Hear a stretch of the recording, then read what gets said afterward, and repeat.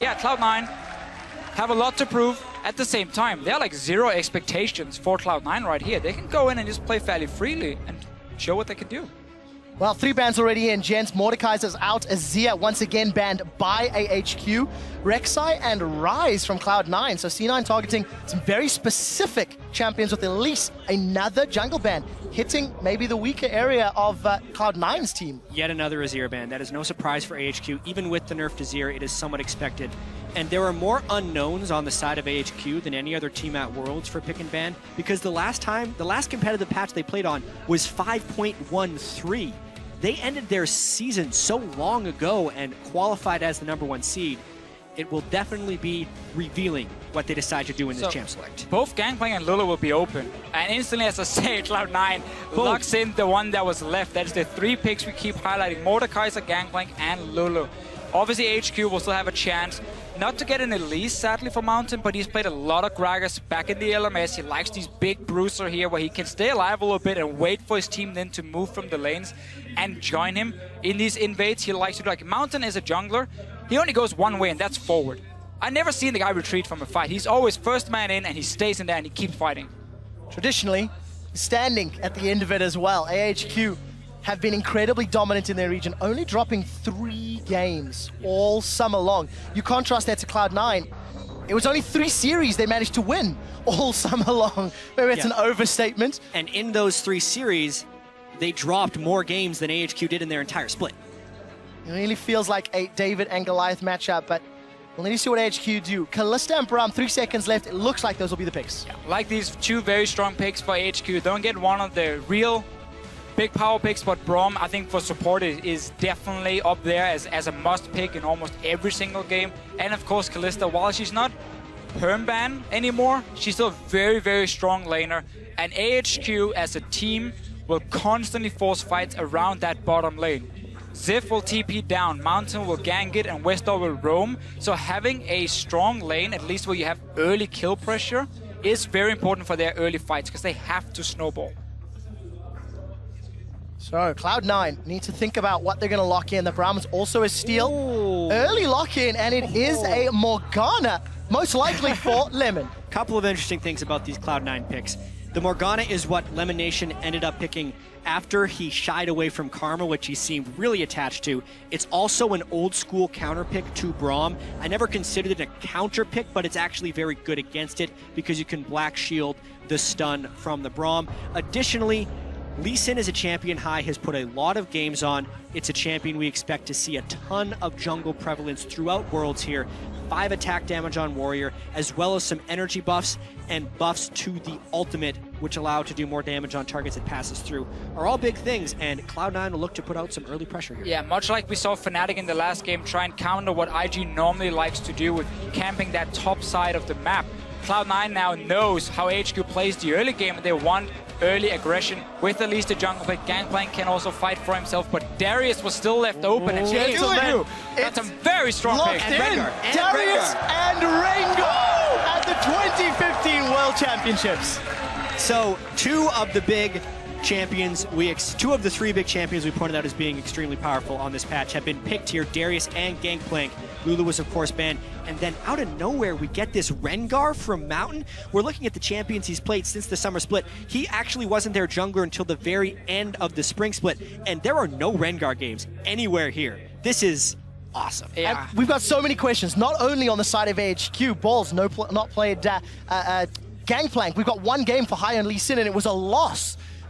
I cannot wait to see how they play in game. 20 seconds left for two more picks. Remember, Gangplank is a flex pick. It can go to the mid lane. I might even say it's probably better in the mid lane. You have a free And farming lane. But Veigar as well, I love this pick. This is like So Christmas. much. So now we know the mid lane. We're assuming that's Incarnation's Veigar. That's going to be his This, Veigar. cha- this pick and ban is Christmas. Deficio, I'll give it to you. You have many things to say about Veigar. So Veigar is coming in now as a champion that has been buffed in quite a few patches to slowly under the surface, been getting buffs in there. The last one he got was very big for him. And in this mid lane, as a pick, he, He's not the greatest early laner. He's not going to destroy your pre-level 6. Which could be worrying against Westdoor. Sure. He's yet to pick. He gets to pick a counter assassin. He has to go find against- assassin against it. He has to. But Fizz? if you do not shut Of course, down the Fizz. It wasn't banned. It's been banned in almost every game against AHQ. if you don't shut down the Veigar before he hits level 11, he will take over the game and he will one-shot everyone. And then Westdoor is gonna stand on this Fizz here being like, I want to one-shot one guy, and then Incarnation takes out three at the same time. So we're gonna have to see AHQ use Rengar level 6 combined with Fizz level 6 and destroy Incarnation so he doesn't sit and stack up AP, get his cooldown reduction, and just one-shot targets in the late game. This is gonna be such an explosive game. And you know what, Jad? You said to me, imagine if you have Veigar and Gangplank on the same team. The zone The control, zone control is huge. and his stun coming down. That burst damage is Ladies and, ladies and gentlemen, on the bus right here, we were talking about champions we thought we'd see, and all of the champions we got excited about are already starting to trickle through. Every champion pick in the first two games has been unique. There have been no duplicate champions from this game to the next, as far as picks. I really like this patch. Now the question is, So far. this is still I just like it. this is still very snowbally, as I'm led to believe. If Darius gets ahead, if Rengar gets ahead, if Veigar gets ahead, etc. It's the meta. It's, just also the snowball out of control. Like AHQ needs to fly ahead of the opponent to win, and they do it very often. and they've got the tools to do it again. Here's your team compositions, ladies and gentlemen. they need level six this time around for Let's- HQ, and then they can go crazy. Let's find out because we are exceptionally excited. Jump on Twitter once again, hashtag C9win. Do they have more magic in their tank? Or will AHQ, the favorites coming into this game, pick up their first victory here in the group stages? It is Cloud9 taking on AHQ with Veigar in the mid lane. The tiny monster of evil. And we also get Westdoor's Fizz in this game. Yes, Westdoor wasn't high in the MVP voting over in the LMS, but it's Westdoor's Fizz. He doesn't get to play this champion. And now he's playing it against Veigar. And you know what? It's Ants Kalista. So AHQ, when they have these early fights in the bottom lane, they're looking to give Ant the kills, and of course Westdoor whatever he can pick up. But late game, you might just be one shot by Incarnation. Westdoor's Fizz is 4 and 0 in their last 31 games played with a 15 KDA. Yeah, and it's been banned 26 times. Well, Picked away one other. Anytime there's a game with Westdoor, Fizz shows up and picks her bans. Now, for Cloud9, we mentioned a little bit how the Lee Sin pick, they want to try and counter some of the early aggression. But for me, the Gangplank and Veigar, that is where Cloud9 wants a bit more time before their composition really kicks in. So for them, you gotta play safe in the early game. You gotta be able to predict where HQ is going. Because once you hit 11 and get rank to ulti and rank 3 of your E on this Veigar here with the stun, grouping is gonna be so powerful for them. And I don't think HQ will be able to respond against that. Uh, we'll find out if they get a chance to respond to Fisher. We're almost at two minutes. Lane swap seems to be initiated by Cloud9. And coming into this, we talked about how maybe a lane swap could have helped Cloud9 overcome some of the tower diving and team fighting strengths in the early game from AHQ. But some of their champions will struggle a little bit. I know there was a discussion regarding Lee Sin and his effectiveness or preference in lane swaps. Really late invade there by Cloud9, but it seems to have actually pushed AHQ down just a little bit. Uh, they won't be starting Krugs, and in fact, Cloud9's going to get the start of the Krugs. I actually feel like that's an incredibly small win for Cloud9, being able to start on the opposing jungle. So what both teams could look to do, if you value getting that early experience for your AD carry and support, is you fast push the first two waves and then you bounce it on the tower and you freeze it from there. And you try and just get a high level AD carry who can 1v1 the enemy top laner. For now though, both teams obviously instantly in. You see Albis on the bottom side of the map warding up the jungle of Cloud9 because now they gotta make sure that Hai and Balls can move down and start farming on the side. But we see Cloud9 already Well, sending members you there. have to respect this roam right away. Whenever there's an AD carry, the support goes rogue. Uh, and Albis now looking to do a bit of an invade into the bottom jungle. Slightly vertical jungle, but actually if Hai doesn't make it over quickly, he's going to be counter jungling pretty hard. So because Cloud9 up in the top side of the map saw where Rengar and Darius were starting, they knew they were really far away from the bottom side, and that's why they can send balls in here. But Hai, as you said, he needs to be down there as well. Otherwise, HQ can just focus So and dive. I don't think Cloud9 actually saw the jungle start. They walked through a ward, but then Darius and Rengar dodged below. We'll see whether Cloud9 will be able to respond. Ziv is going to teleport up top, and uh, every time we... Hai, Hai is lost here. He went in, they did not know he started red, so that's Okay, why he yeah, late no, the red, right, and now he's right. going down to his own jungle. But because he made the quick reaction, Mountain is also not able to counter jungle red. So, One thing I do want to keep an eye on every time we look middle, by the way, Inca- Incarnation farming with that Baleful Strike, he's already got plus 10 AP for free. And I want to track just how high that goes. you want to know the funny thing about Veigar is you don't even need that bonus AP. Just from standard items, you get so much damage because you have a 1 to 0 scaling on your ulti and on your W. So late game, you're just such a monster. It's more about even the stun duration and the cooldown of your stun, blocking such a massive zone and making it very difficult for Kalista to jump around in a fight. With all the early game action, Balls is the one that's suffering 7 CS in contrast to Ziv's 14. LemonNation did back earlier after doing those cracks to help babysit Balls in this lane. And we've got an interesting 2v2. It's a very different lane swap compared to what we saw in the last game where Fnatic were fast pushing from the start and AHQ tried to freeze one wave and then send down people to defend. Backfired completely because they were so late. Here we see both teams kind of being happy, just trading experience on top and the AD carry. We see up in the top with Darius being in the one-on-one lane. Yeah. High instead looking for a player on the mid lane. We're not expecting Mountain to do anything pre-6 and Westdoor's going in. He's gone in aggressively, and that might be brave. Event Horizon is flashed as Westdoor gets past the Christmas bells. Oh, Dark Binding connects on Anne, but there's no follow-up. Exactly, and also they can just put up the Braum Shield anytime a Binding lands so the balls can't shoot through. These are actually really favorable lane matchups for AHQ early in this lane swap. Ziv on Darius should be able to farm up just fine with Doran Shields and four health potions. Additionally, Ann and Albis can really punish Sneaky and LemonNation, or sorry, Balls and LemonNation in that bottom lane uh, because of the Braum and because of the melee versus range discrepancy. Yeah, never been a fan of the lane swaps where you just trade AD carry for top lane experience. I think top lane has always benefited so much more from getting an advantage. Now in this case, you can see Cloud9 is swapping back. So before it gets completely out of hand, they want to get it back to standard lanes. I like the little play though from Hai around the mid lane. Because you saw the minion wave were pushing slowly down to Incarnation. That meant Westdoor, he had to overextend to keep farming as a melee champion. And therefore Hai knew there was a chance he could get in, and he forces a flash, which can be key now that Westdoor will be under more pressure, and Incarnation is soon hitting level 6. Now, of course, Incarnation is going to have that freedom thanks to his opponent not having flash. I want to mention Balls going toe-to-toe with Ziv's Darius. We've touched a lot on the Gangplank and the Veigar, but Darius, a champion we've not seen in the West at all, because he simply became relevant after the patches, Right. after the tournaments had already ended. What are we Yeah. expecting out of Darius? He is tremendously strong in melee versus melee matchups.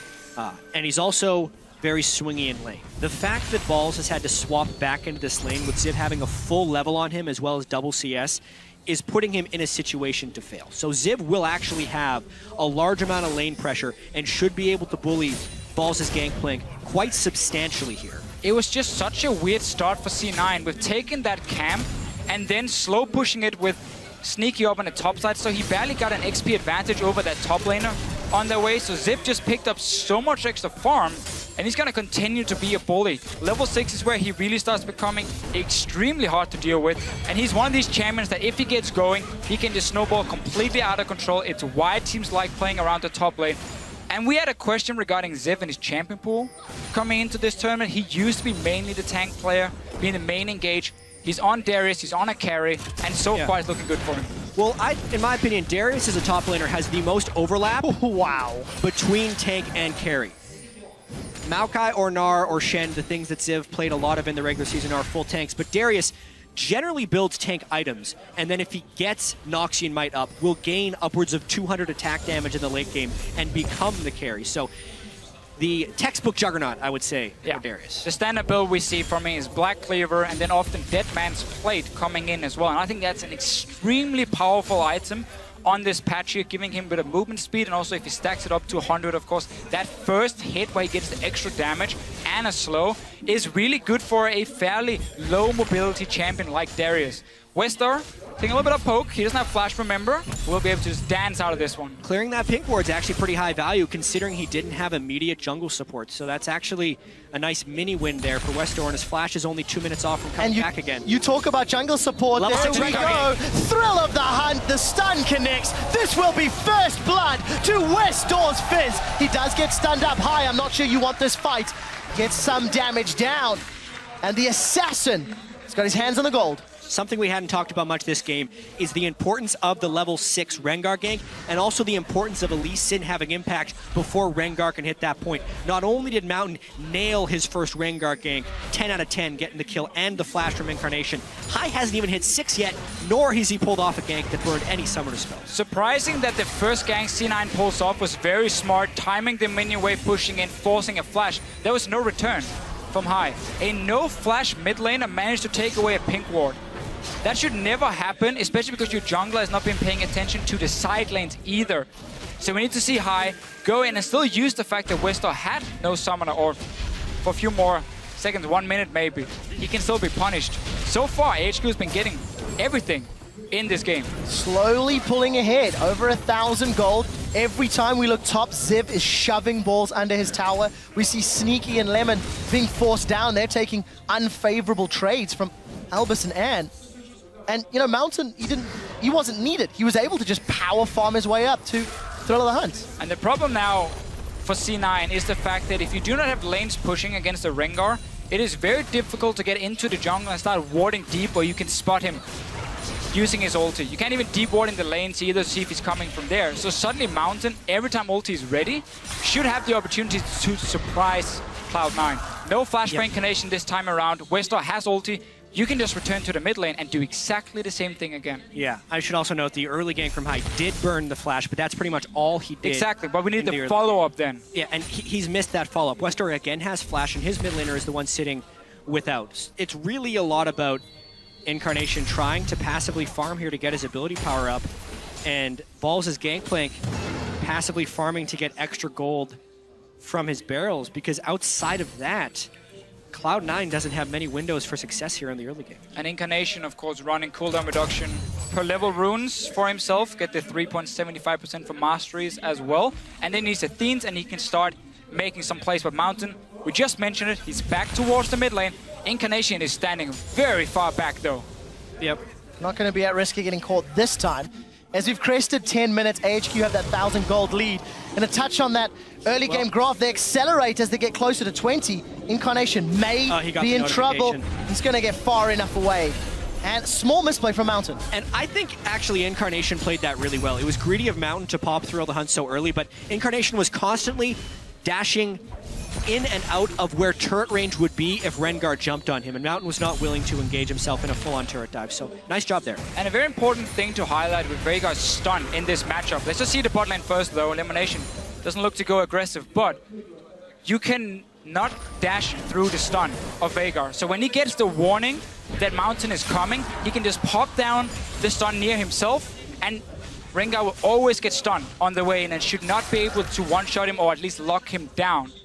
So Incarnation, as long as he stays far enough back and gets the warning and not Hakabuz or whatever, so someone can jump in and, and, kill him, he should be okay. Plus 58 ability power on Dark Matter, almost three amp tomes already. And outside of a big CS discrepancy in the top lane, it's not looking great for Cloud9. AHQ continue to just play for the long game. Yeah, the one saving grace here for Cloud9 is this bottom lane. Tristana is a pick that mainly caught on in North America. And this is specifically what they do for it. They continually push up, they get the explosive charge on the turrets, and they shove them down as quickly as possible even though Sneaky was top lane for the early start of that lane, he still gets the turret. And even though the rest of the game was going towards AHQ, that turret gold is going to come in really handy if they can withstand the rest of these ganks. Well, Mountain balls, though. wants to get balls. Apprehend connects, as does the Decimate. That's a flash away. The teleport from Incarnation gets cancelled by Chum the Waters. Westdoor gets away. While all that is going on, Lemon, Sneaky, and Hai take Dragon number one after taking tower number one. Yeah, Mountain wasted that ulti in the mid lane before, so didn't have it ready for the dive up top, and then C9 using all the globals they had ready. Hai just uh, making Westdoor use a bit of mana, and now he cannot clear the Yeah. wave because they're already pushing on it. And Cloud9 is rotating around Sneaky to get the explosive charge on turrets as quickly as possible and trying to punish the low, low wave clear of the Fizz mid. Cloud9 is still very much in this game, getting the Dragon, avoiding the dive in the top lane, and also getting that bottom turret. It is putting the emphasis on AHQ to start fights, which shouldn't be a problem, but they haven't found the fights yet. One of the main things for Tristana when she became a pick was that she was good in lane against Kalista. You could out-trade the With the early trades because you had your E doing the physical damage. And then once you get towards these towers here, because Kalista is a fairly slow wave clear and basically very limited before Hurricane with the wave clear, Tristana will always get the 4-5 hits with the bomb exploding. So C9 when you have a Veigar, when you have a Tristana and a Black Shield, that's a very, very strong siege composition for them against absolutely no defensive wave clear on the side of AHQ. So HQ are looking to open up the map soon and start fighting. They do not want a longer laning phase. They need to start getting these roams and creating these picks. Otherwise, Cloud9 can just easily group. Incarnation is getting very close to his 11, and then suddenly it becomes very bad for HQ. Well, HQ do look to secure their first tower in a moment or two. Their next wave is busy conga lining down. Balls still 35 CS down. But while he's unable to defend top, AHQ are under pressure middle. It looks like Lemon will be aiding Incarnation and Hai's just waiting in the wings. So what Sneaky wants to do here is push up the bottom lane to apply pressure and force someone to defend, and then he can just rotate to the mid lane, group up with Incarnation, and take down this mid tower. You can see him already move away and start moving through the jungle, or at least trying to. Then they spot Rengar on a lot of these deep wards, and now he can safely just jump away. Very, very good wards from C9. They know which lanes to play around, bottom side and mid lane, because those are the outer turrets you're aiming for. Let Balls just try and farm whatever he can up top. So Mountain's first ultimate was fantastic. The following two, optimistic. Yeah. They've not paid off. Just a quick difference in their item builds as well. Moby Boots, both warrior enchantments. Uh, Moby Boots for Mountain versus the Sightstone for Hai. So still fairly squishy on both sides of the jungle camp. And this would normally be the time in the game where AHQ would be taking advantage, but they just strictly don't have the wave clear, and that's the stun! Oh, he's down! Sneaky gets the kill. Even an assist for Balls. They're going to turn their attention to the tower as that cannon barrage helps to clear the wave. C9 might be behind in gold, but this composition when it gets to siege on a tower is so deadly. You see the stun, the chain CC coming, and you just burst down one target. They are so far ahead in map pressure as well. Oh! Would have to fight, and they just keep chaining. Cloud9 is on a rampage. Oh, there we go. Wait for Event Horizon to come back up, and Inca Incarnation will say, I'll have another. They've decided to back away for now. Look at Westdoor. He was in the river. And because Ziv was called down, Balls gets free time in the top side. The pressure and the tempo is so heavily in Cloud9's favor, it is catching AHQ way off guard. AHQ and the LMS is used to playing a laning phase where they always get slightly ahead. They're then used to getting out of the laning phase and just take team fights left and right, and they win them and they get so far ahead of the other team. Now, they're suddenly against a group of guys who can simply move up to a tower as a unit and just slowly but surely they look for a pick or they just take down the tower and AHQ needs to respond by flanking them and getting a massive team fight. And this game could very easily become a bloodbath with the way it's progressing. Both teams have multiple turrets down, and LMS, much more than North American or European LCS, fight over the dragons. Specifically, if the other team is trying to chain them. It was actually really strange that Cloud9 was able to get that first dragon, which means AHQ is putting even more priority on preventing the second one. And since Cloud9 does have turrets down already, the next course of action would be to start securing those dragons. This fight in 90 seconds could be massive. Level 11 for Incarnation. He's got 120 bonus ability power thanks to that passive on Baleful Strike. And we did see AHQ grouping around the Dragon. So for Cloud9, where is their next move? Mountain does have Thrill of the Hunt on, and he's thrown it down. Really poor ultimates after that first gank so far. I mean, what was he hoping to accomplish with that? He ulted and he wasn't willing to face check in to get vision because honestly, he may have died. I think he was, yeah, also just checking. Is there anyone hiding around here? Do I get a marker? Do I get a warning? But it does mean for the team fight now, near this dragon, it is not there. And the way for HQ again to engage, just highlighted, they have to be able to flank in. Otherwise, Incarnation can just land the stun, oh. deal the damage. Oh, that was so, so close. If Westdoor jumped in, that primordial burst could have just insta-gipped him. I will say, from the earlier push that Cloud9 did on the mid lane, it does feel like HQ is not well prepared for this Veigar pick. And Incarnation has put a lot of practice in on it. Jack, Getting who would be in. who would be prepared for the Veigar pick? It's Worlds. You have to be prepared for anything, and this is the value of some of these different picks. Whether or not you can find the proper counters for Veigar, this is what's looking like close to the first Westdoor and AHQ have seen of it. 3,000, sorry, 2,000 gold ahead. Cloud9 are after falling behind at the 10 minute mark. Dragon and Vision, way north of Dragon, is fully secured. Cloud9 should not be surprised. But look at Westdoor Mountain off to the left hand side of your screen. And this is another beautiful thing about this Veigar pick is once you start fighting around objectives, your stun can just cover a complete entrance. How on earth is HQ gonna walk into this dragon if they walk straight into the stun? They might have to. They have teleport on Ziv, and they're giving up the second dragon already.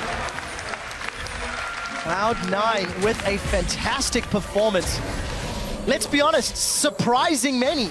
A lot of people anticipated AHQ to do well, and this Veigar pick has thrown the game on its head. Incarnation gets caught by another Chum the Waters, flashes defensively high, forced to safeguard out. We did see the Glacial Fissure go down, as well as the Cannon Barrage. And at the end of the day, a lot blown for nothing. TP used from Ziv as well, but it quickly cancelled, realized there was no fight to be had as C9 already jumped out. But we mentioned this in Champs, like we talked about it during the early game, how for Cloud9 it was just all about not falling behind in the early stages of the game. Wait for Incarnation and wait for Sneaky to scale up a little bit and then to start sieging away. And as you said yet before, HQ so far have been looking for a few picks with Mountain, but he's been very far from finding anything. Yeah, Mount, Mountain's Rengar has not been impressive. His first gank was good. Everything after that has completely missed the mark. The deep wards from Cloud9 are in all the right places to stop Mountain from being able to push. And despite, here's the huge thing, despite balls going into that top lane against a Darius, beginning down 20 CS and a level. He was down 40 to 20 and level 5 to 4. And even though he lost his turret early on, he's stuck right in there and he's been able to use his global somewhat offensively. Huge credit to Balls' gangplank, his most played champion in Korean solo queue during the boot camp. He is doing good work against Ziv, HQ's strongest player. The key really for C9 with this early game is the fact they had that Tristana into Kalista lane on the bottom side. With the Morgana to just continue pushing the lane over and over. So while they were losing on the top side, going even on the in the middle lane, with Incarnation dying once to the gank, they were winning the bottom lane. That gave them an opening to get an outer turret and get into the jungle of AHQ and start placing some of these deep wards you see on your map now, making it even harder for Mountain to pull off an ulti. Uh, we do see that wave clear being so useful. Westdoor, wow, he's decided to go aggressive. Balls is being caught out. Chum the Waters goes up, and Westdoor makes that look so easy. But Cloud9 said they want to fight in the mid lane. The dunk faster Darius is about to get dunked.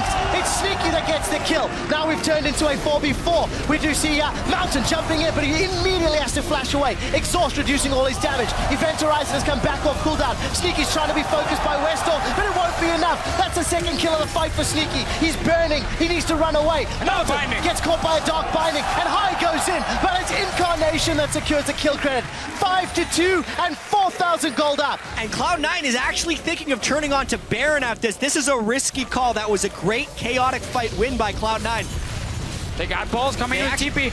And is the only one in the mid lane. Three others are dead. This is Baron at 22 minutes for Cloud9. They will take full control of the game after this secure. So we see two things from HQ as well. We saw Westdoor split pushing, getting a kill onto balls. That's one of the ways they can get back into the game. But then the rest of the team were caught sleeping in the mid lane. Hai gets the engage. Look at LemonNation landing binding after binding as well. And the CC between him and Incarnation allows Sneaky to stay alive and just sit back and deal all the damage. And specifically the fact that Ziv was eliminated before that fight made it even, even though AHQ thought with the collapse up from Westdoor they would have the edge. But Westdoor too had burned significant cooldowns to kill balls in the bottom lane. And the binding accuracy versus the skill shot accuracy from Incarnation's Veigar in this fight were just too much for AHQ to handle. And we're just getting later and later into the build the- for what's the AP Incarnation. Because you get five on every kill or assist. 168 bonus AP. Right. Currently, at levels. Incarnation has 497 ability power at 22 minutes. A Baron as well, and they are now sieging the inhibitor turret. It is down. This is exactly why Tristan is such a big pick in the North American LCS. The instant you get an edge, you get to someone. Oh, it spots him He the- found Mountain! And Mountains jumped in, but he's down. It's Balls that takes him out. Ziv got stunned by the event horizon, and he's forced to flash away. Sneaky goes in aggressively. Red buff is ticking. Buster shot gets eaten by Elvis as Anne eats a huge crit for dinner. The inhibitor will be dropping, and there are minions pouring the bottom line. They might go for the end. That's 20 second You death got on Baron two. buff, you got Westdoor has no Tristana. ultimate. Keep pushing, keep pushing. And they are pushing. Nexus turret number one is being focused. Another the stun! Horizon catches Westdoor, and he may need to take the door. The exit. Cloud9, look for the second Nexus turret. It is being focused down. The satchel charge is on. It's ticking and burning. That drop will drop shortly. The Event Horizon catches Anne, but he is able to QSS away. Second item QSS. There is no damage. Cloud9 are on the Nexus, and they will take down the number one team from the LMS. 23 minutes 58 seconds. One of the fastest games of the year come against AHQ, the number one team from the LMS, and Cloud9, a team who at one point in the regular season was ninth. What an upset in this group stage. The analyst desk before this game here, every single one of them mentioned something that C9 had going for them that could win the game. We had Cloud9 and we had Hai and his shot calling. We had, of Yep. course, Incarnation and Sneaky as the two carries as well. Both of them stepping up big time in this game. But this composition for C9 when it comes to sieging is so powerful. And HQ had zero wave clear. Such a risky comp. And there were so many unknowns about AHQ coming into this event. And Deficio, you and I were actually talking last night. Cloud9 had a lot of different ways in which they could win this game. We didn't get a chance to talk about it because it was over in 24 minutes. But if Incarnation could outperform Westdoor, pressure and shove the mid lane so Westdoor could not roam, if Ziv could not have a dominating performance on a new champion, and if Sneaky could win the 2v2 against AN, That all of those things happen. really the sneaky versus AN in the bottom lane for me. C9 gave up the first spot in the mid lane. It looked like, okay, you're losing top. Are you going to start losing mid lane as well? Where is the pressure going to come from? Bottom lane. Tristana pick from Sneaky, elimination on the Morgana. Get that early tower, get the D board, start rotating Mountain.